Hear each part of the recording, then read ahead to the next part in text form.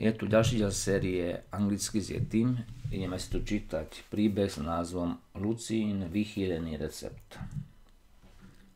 Lucy's famous recipe.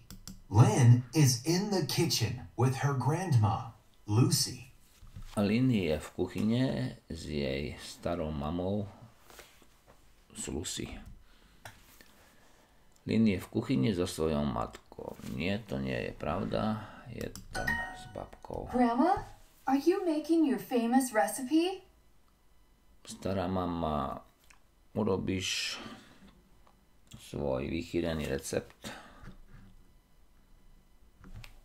Yes, it's your favorite. Áno, je to tvoje obľúbené.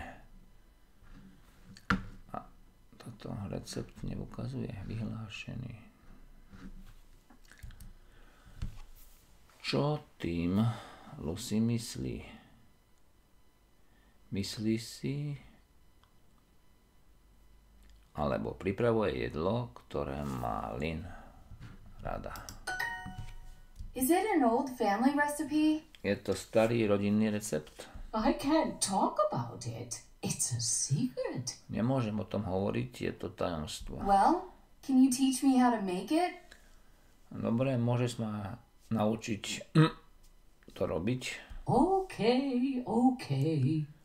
Áno. We need two cups of rice and three cups of water.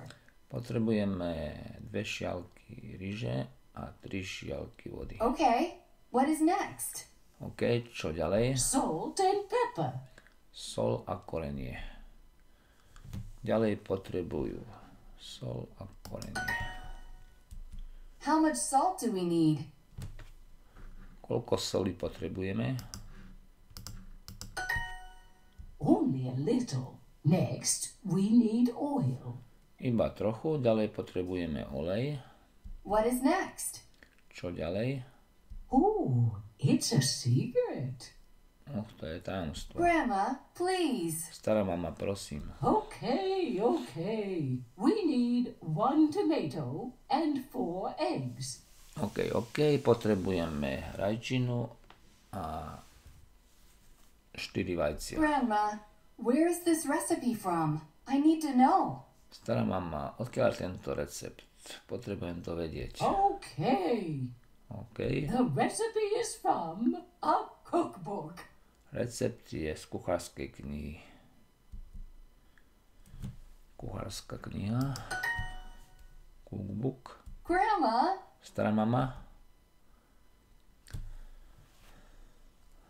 Lucy sa recept naučila z kuchárskej knihy.